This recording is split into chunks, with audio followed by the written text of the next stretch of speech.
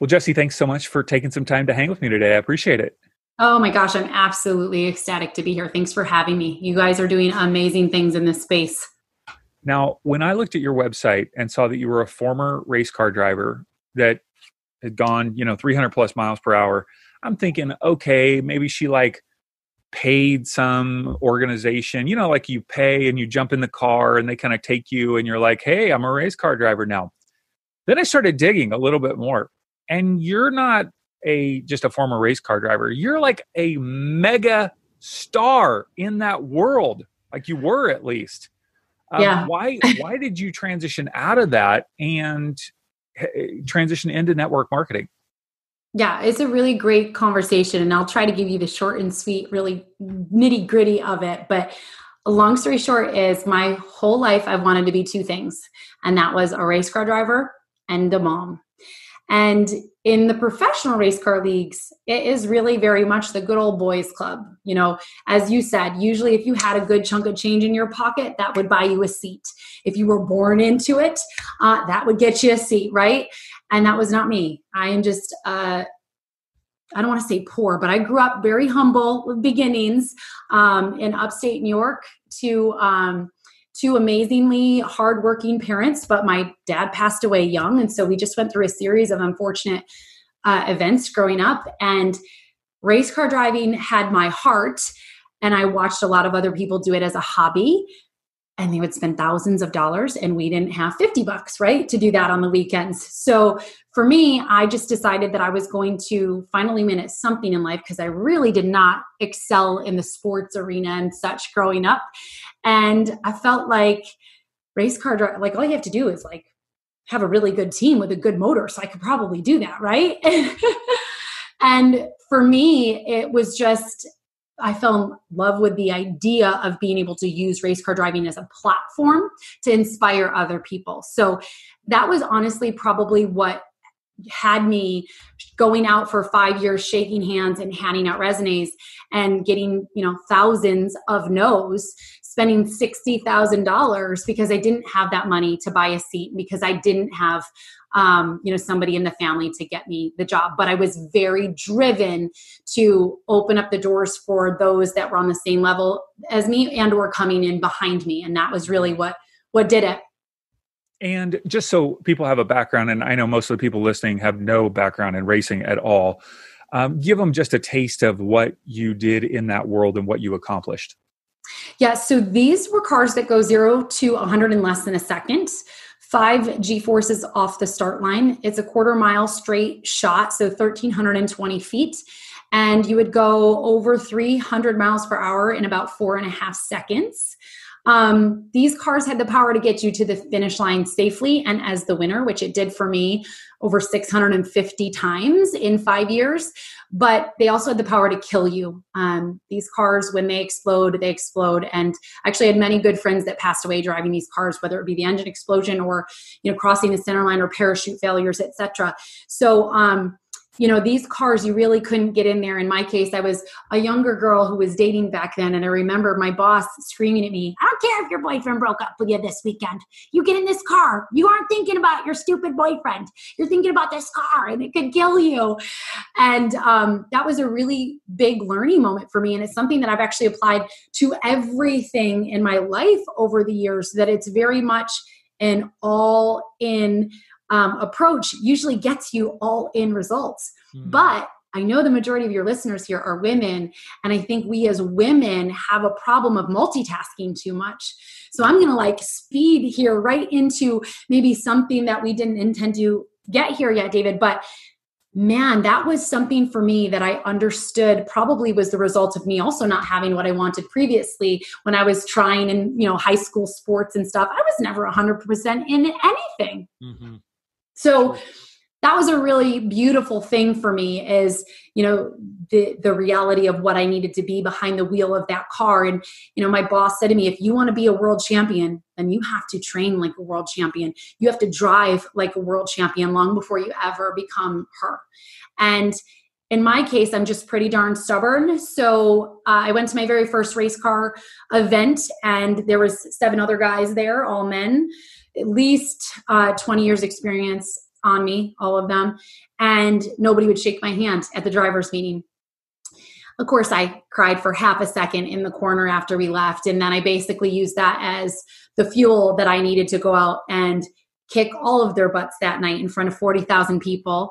And I never looked back. I had, in the five years behind the wheel of that car, I raced over 650 races and I won all but one.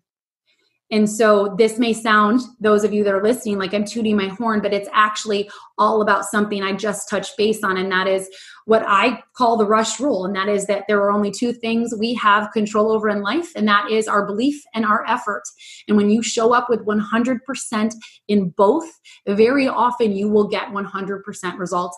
And at the very least, you will at least have no regrets and you will feel happiness and joy. And that's to me what's even more beautiful than actually maybe achieving the goal, right? Until we mm-hmm. become along the journey. Mm-hmm. I watched a couple of interviews from uh, quite a few years ago of you at the racetrack and you know i'm looking all around and i'm going wow it looks like jessie's the only woman anywhere in the yeah. you know whole pit area i mean how did you deal with that um, I assumed that there had to have been interactions and conversations that were less than helpful.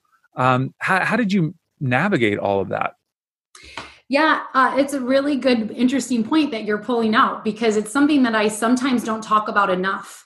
Um, in that arena, it really was the good old boys club, especially. I was the only female driving in that division in those five years. Um, I actually went on to, so these were called Jet Power Dragsters. I went on to get licensed in the highest of um, drag racing cars that you ever could, Top Fuel and NHRA Funny Car. Uh, I did not get to drive professionally on the full circuit just because that was in 2007 and 8 when I was transitioning. And we had the huge uh, economic decline. Mm-hmm. so, I was looking to, you know, I was pitching Fortune 500 companies for million, multi-million dollar corporate sponsorships, and that just that was the first money that that went right. Um, but I very often, like I said to you, five years got passed up, no, and you know, got those opportunities offered to other men who did not have the same resume as me um, or experience or the same look at guys i can chat right hello chatty kathy right here it's one thing that God gave me a gift, and that is the gift of gab. And I can really make it uh, not about me, but about the other people and the lessons that can be learned. And still, that wasn't enough so very often. And like I said, there were plenty of times that I found myself in a corner crying. But, you know, my mom taught me young that, you know, we can this isn't this is me paraphrasing this is what i've created from it now today but basically you can quit today but you can't quit tomorrow. And i'm getting goosebumps even saying it to you right now because that's been another huge thing that has helped me achieve the things that i've wanted to in my life despite everything that was stacked against me. What does that mean for you? You can quit today but you can't quit tomorrow yeah, it means it's okay to be hurt, to feel discouraged, to be mad, be sad, any of the things, right? Um, feel it. In fact, I encourage people to not avoid the pain, feel the pain, use it as fuel to then go out and push forward for the things that you want. So for me, a lot of times, oh my gosh, right now I'm in the throes of coming. I don't know, are we coming out of COVID at the time of this recording? But I am a mom of five. I technically own three businesses, and I went from having a part time nanny and a part time house cleaner to being stuck at home running three, six, and seven figure businesses with five babies, ages nine to at the time two and a half months. I don't think I've ever done anything harder in my life. And I've delivered five, nine pound babies naturally, dude. That like, like nothing has been harder than this. And there were plenty of times that I quit. Like I just quit that day. And and sometimes I quit for two days in a row because it was just so hard. But I have this thing I tell myself you know, when there's a problem, you have an opportunity to take that problem and use it for good. So I pick back up the next day and I dive back in with that 100% belief in action that I can do, have, or be whatever it is that I desire. And I think a lot of times the, the starting again tomorrow or picking back up again tomorrow is harder than quitting indefinitely in the moment.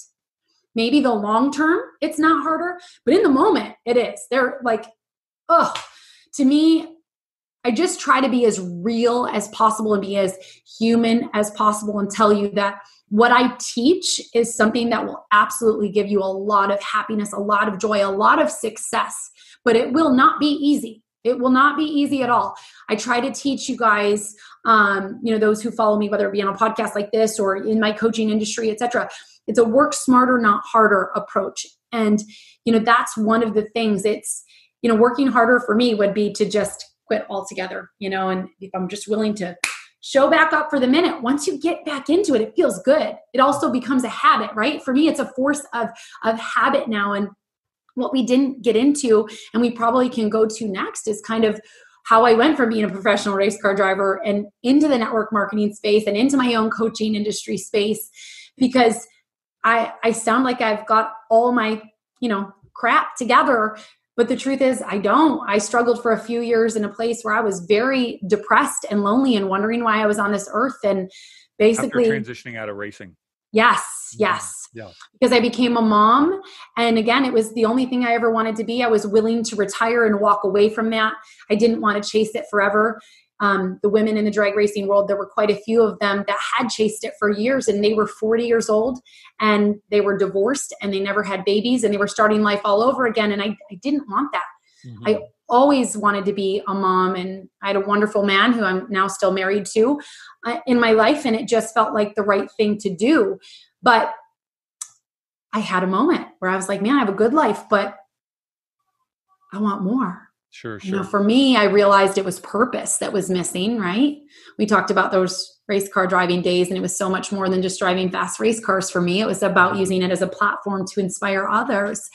Um, and I honestly think that's how a lot of women end up finding network marketing nowadays because it it just opens up a door for them to be willing to say like my life's good there's nothing wrong with that but when you want more, it's scary to think of how do you start all over again? In my case, mid 30s, right? I'm 37. I have to think about that now. I'm 37 and um, I joke, I still don't know what I want to do when I grow up because I'm always transitioning and evolving and growing. But network marketing was an amazing business in a box opportunity for me. And that's what a lot of women need is just something that feels doable. And that's what network marketing is. Mm-hmm it's something that's already kind of in place gives you the training gives you a team gives you a support system um, now when you started in network marketing my guess is that there were people around you i don't know but often will say ah this is a pyramid scheme. Nobody makes money. It's only the people at the top. It's only people like jessie harris bouton that get you know that make the money. It's not you.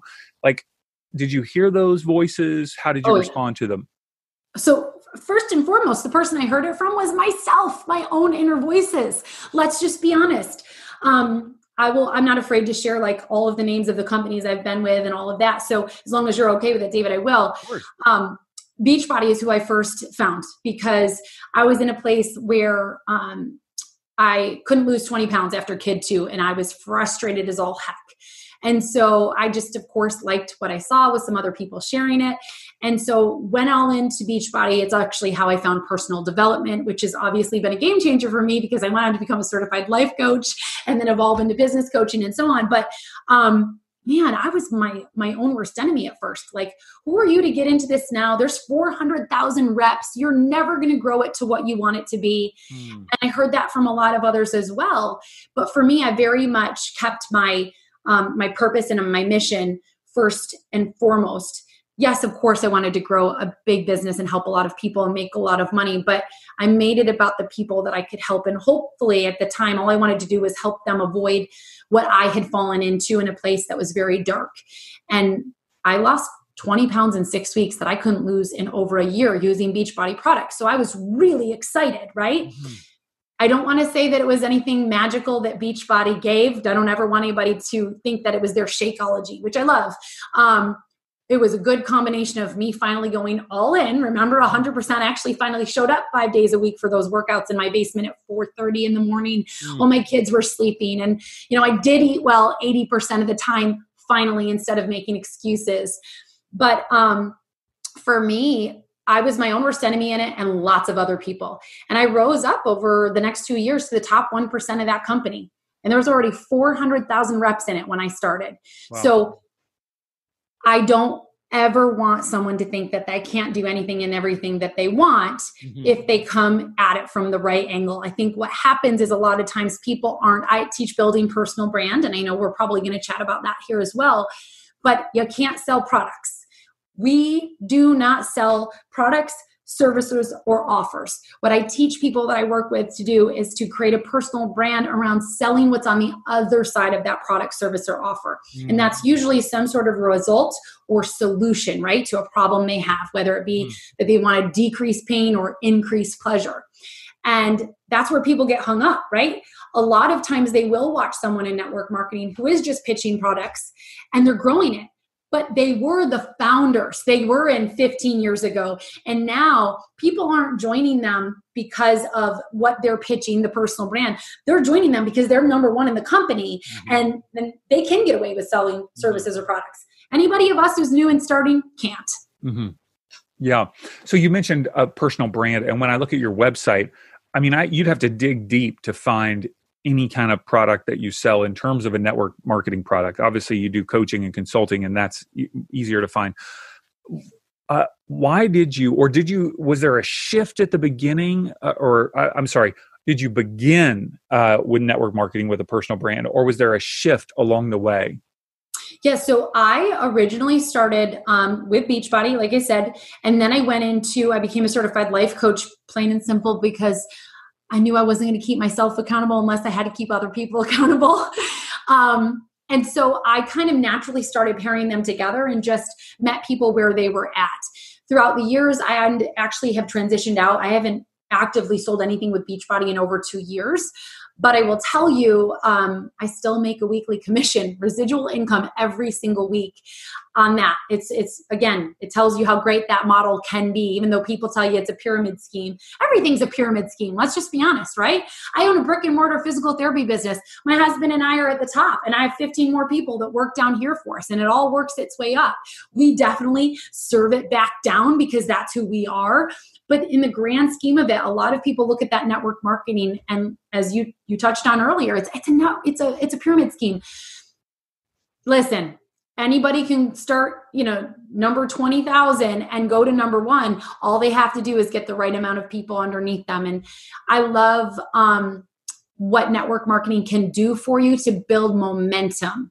And so i teach very simple um, duplicatable processes and systems i teach this is something i believe wholeheartedly especially as a mom but systems simplify processes and processes are the pathway to power right? It's why network marketing works because all it is is a simple hand me down system. And so i teach that same thing for the women who follow me and just have their own private business they're trying to to grow. Mm-hmm.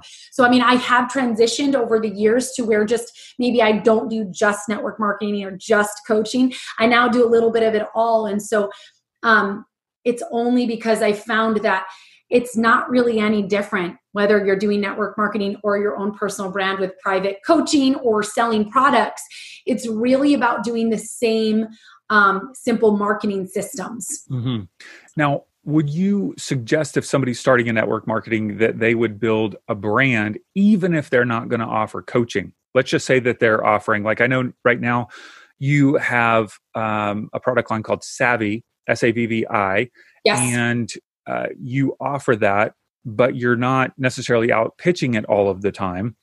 Um, would if somebody signed up with you, you would suggest that they would start a brand, and even if they're not doing coaching, how would that work? Yeah, yeah, whether they're doing network marketing with a product, whether they're doing their own coaching, or even their own private um, product, I absolutely believe that what's going to make you stand out right now is creating a personal brand. So, we touched earlier on not selling that product or, or service or offer, and it being really a result or a solution on the other side of it. Mm-hmm. And more than anything, it has to be something that's highly transformational. So, people don't just buy life improvement offers. Like, look at it yourself. Be honest, even if you're listening to this right now, like, take a pause, press pause, and think about what you have invested in in the last six months, because that's the easiest to remember. Most likely, whatever you purchased in was something that you felt was really going to massively make your life better in some way, even if it's just a shirt. As you mentioned, the network marketing company I'm with now is called Savvi, S A V V I. I love their clothes And the reason I love them is because they're not just clothes. They're clothes that make me feel like a confidence queen to show up here with you on this call.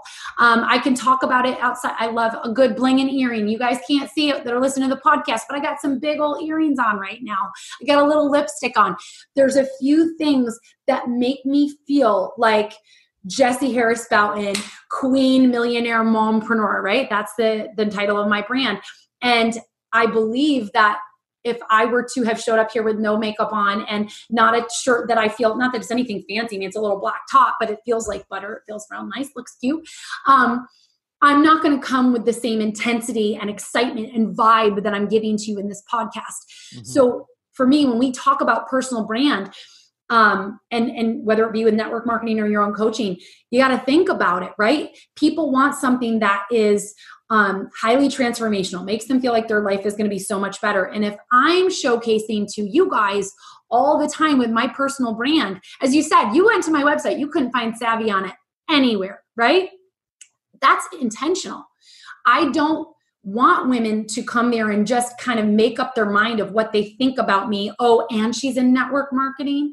Oh, because that's what happens you know the women that actually come and follow me on instagram and they love the fact that i am showing my 4.30 a.m workouts. They love the fact that i'm teaching them that i have what i call rush state. Rush is an acronym for revving up self happiness it's part of my first book. And so when i say get into rush state it means get yourself into a position where you feel like that queen that millionaire mompreneur that you want to be now long before you ever are her. And for me music is my muse. So i have a good power jam playlist that i am pumping myself up to every single day it's an intentional choice, right? Mm-hmm. We all have power inside of us, but a lot of times we use our power to hold us back or tear us down instead of pursue more of what we want.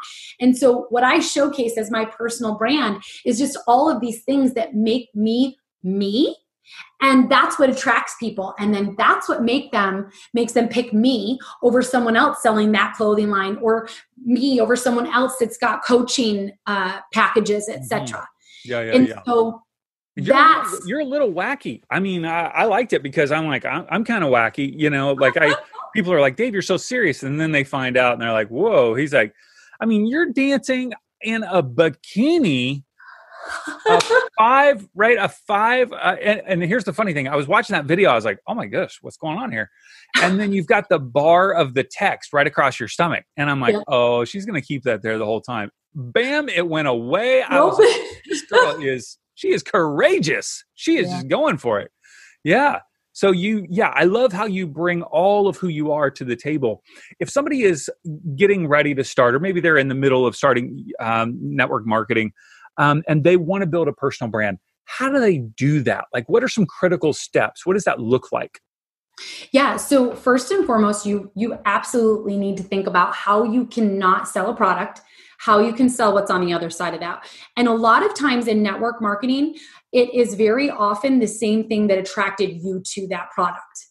This is something people don't think about. I joke, I am my own best dream customer. When I'm creating content, for example, you were just speaking about a reel, um, the new Instagram feature, right? They have these reels where you can teach something in 15 seconds. And um, I just ha- happen to have my swimsuit on from swimming in the pool, and I'm like, whatever, I'm going to do it now because you know what? It'll catch people's attention, number one. Number two, because they see that lifestyle that I live, right? They're always like, oh, she's showing her baby bump belly or or whatever. And I'm like, yeah, what I, I want to be as real as possible, even if that's shoving a bag of chips in my face. Because 80% of the time I'm eating clean. But it's those things that make people relate to you. So um, you know, I, I tell a lot of my clients, let your freak flag fly. If you curse like a sailor and you're comfortable with that, don't hide it don't hide that. Don't be afraid to, since the majority of our girls on this podcast are, are women listeners, don't be afraid, like feeling like you always have to have your makeup on and stuff done. Just show, I mean, that day I had no makeup on in a swimsuit that probably more than should have been hanging out was hanging out. But I'm like, hey, this is me. I'm going to tell you if any of you don't listen to my podcast, you should. David, you'll appreciate this. So uh, just last week, I was recording a podcast that airs in just a couple weeks, and my nine-year-old was sitting in here with me. He was just snuggling. And and one thing that I like to showcase about my brand, and this is a giving, this is an example of what we're talking about right now. But it's that man, if I can do this with all these things stacked against me, right? Who used to eat ramen noodles for five years, siphoning gas out of my car because I need, dude, I have all the stories, okay? Um, if anybody like me can do this, girl, you can too. And my son is sitting here in the middle of this podcast recording and he lets one rip. He toots, farts, whatever you want to call it. Okay. And I could have edited it out but I actually chose not to. And I do that with a lot of things, whether it's my little one, where you can hear him guzzling and he's nursing on the podcast, or uh, gosh, I was, re- I actually did a training a couple weeks ago for like 1,500 women. My three year old walked in buck naked and I was leading the training and nobody skipped a beat. I just kept going. And they were like in the chat box, oh my God, she's crazy. I just don't let anything stop me. Right. Mm-hmm. And so what that's my personality. Never used to guys i'll be honest with you. It took me 37 years to get to the place where i don't give a crap. Uh, it's an intentional choice i have to lean into every single day. But i just showcase what makes me me and that's what women relate to. So think about who you really are at the core. When you're sitting there with your best friend or your spouse and you're just talking and you're not worried about anybody listening that is number one. Be you because there's thousands of other out there that are doing it and they're going to pick them over you if you are not letting your freak flag fly whatever that looks like okay? So how do um, i sell though? How do i sell a product if i have to make people look for it? How does that work well, I actually don't normally recommend to people that they have to go look for what I'm doing. Most network marketing people who are coming to me and building, that's their main thing. So they would be showcasing it more than me. Um, but they also might not have a, a, website. I tell people you don't need a website to start and grow a big business. Nowadays with social media the way that it is, you definitely don't. Believe me, I know it's important to have your own, you know, email platform in place that you're collecting, but I actually am a huge advocate for text marketing right now. Um, text marketing is the new email marketing. There's a 90% open rate versus 20%.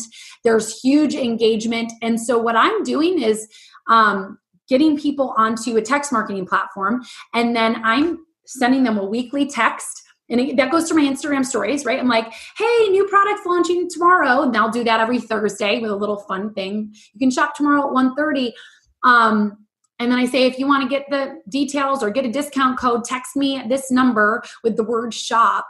And then I'm hitting them that way. So you can do whatever feels right to you. But the reason um, a stream of multiple like a side stream of income. It's kind of like a snap on that i'm doing to my coaching business. Because i swore off mlm i'm just going to be honest. I swore off network marketing a long time ago. It felt too hard. I felt like i had to educate people so much. I was working way too many hours which wasn't why i built my business because that's what beachbody was. You really had to hold people's hand. You needed to educate them and convince them that these products were worthy. Mm-hmm. i'm selling clothes now. Women love clothes there is nothing fancy about it. Like you either like it or you don't, and you're moving on. But I don't have to, like, oh, let me teach you about what these things are made of. And then let's put you in a group where I'm going to be there available for you for free all the time. Network marketing has a bad taste because of things like that. Mm-hmm. Um, this company is doing it differently than any others. There's no monthly uh, fees. There's no purchase requirements, right? So this sells itself. I literally don't do anything extra. I just mention it mm-hmm. and then mention it again and again and again, which is going to lead me to my second point of it's important to be consistent. If you're not annoying yourself with how much you're pitching your stuff, then you aren't doing it right. mm. There's going to be people that are annoyed by that, but then they're not your dream customer. Okay. You are meant to be a magnet. You are meant to attract the women or the men, whoever your customer is that wants what you want or that what you have, and you are meant to repel all the others. Mm-hmm. And so the way that we do that is being consistent, consistently showcasing your product, not the same thing over and over, a different way, right? This week, I might talk about how these clothes make me feel confident. Next week, I might talk about how these clothes make me show up to my workouts and give my all, even when I don't feel like it. The mm-hmm. following week, I might talk about how these clothes have allowed me to help 50% of my audience who were too afraid to start their own business, that were basically sitting there waiting for me to finally tell them about this business in a box opportunity that only cost them the amount of some product to get into, right? It's do all. I, do you think that could work for me? Like, do you think I could be showcasing savvi products?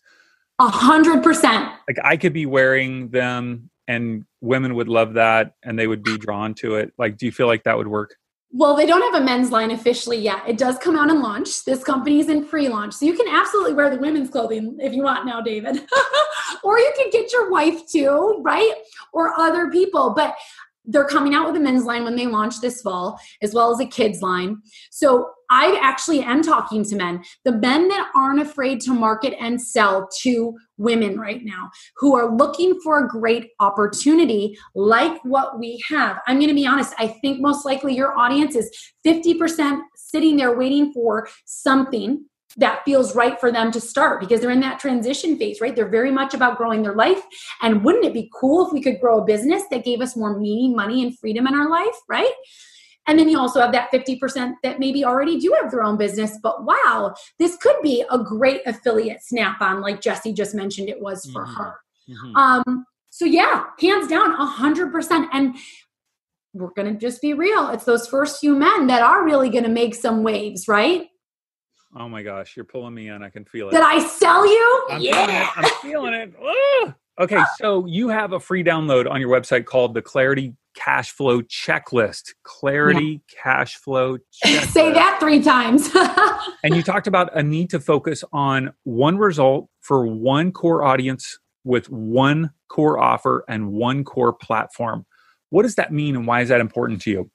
Yeah, this is such a great question. So, um, we talked really briefly early about the rush rule, which I say is 100% belief in action that's going to give you success and at the very least joy, right? Where you don't have any regrets because you showed up with everything you got and you got the best results you could that time around. You're going to go back in.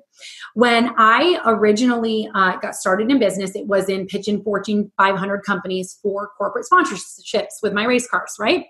And then I met my husband, who a year previous had just started his own brick and mortar physical therapy business. We've now been in business 19 years, well over a seven figure business, employ 15 people. Amazing. I had my little moment of getting lost, so on. I decide to start a network marketing company with uh, my own business with Beachbody. I also get start my certified life coaching business, all the things. But I struggled actually struggled a real lot. The first two years, I spun my wheels. I spent more than I made. I cried more tears raising my businesses and my babies. Like, I'm just going to be honest. Um, and I, I quit a hundred times. I really did. And then I finally took a good core look at what it was that worked for me in the past. We built a really great sponsorship opportunity with my race car. We built an amazing seven figure business with brick and mortar. Um, and I also took a look at what got me the success in the past, like that losing 20 pounds in six weeks. And I realized it was one focus, right? It was one focus. And this is where I created what I call the one thing formula. And it's at the base of everything that I teach inside the Millionaire Mompreneur Accelerator, which is my coaching industry. Um, but I like to I like to give you all the the good stuff first for free because then you'll understand that oh my gosh, if she gives this for free, right? That's what you get on the other side. Guys, I'm telling you this because I want you to pay attention, not just to what I'm saying, but how I'm saying it. There is nothing smarter than when you pay attention to those who are ahead of you, how they are doing things. The H O W. You can, there's no reason to reinvent the wheel. You can learn so much from that, right?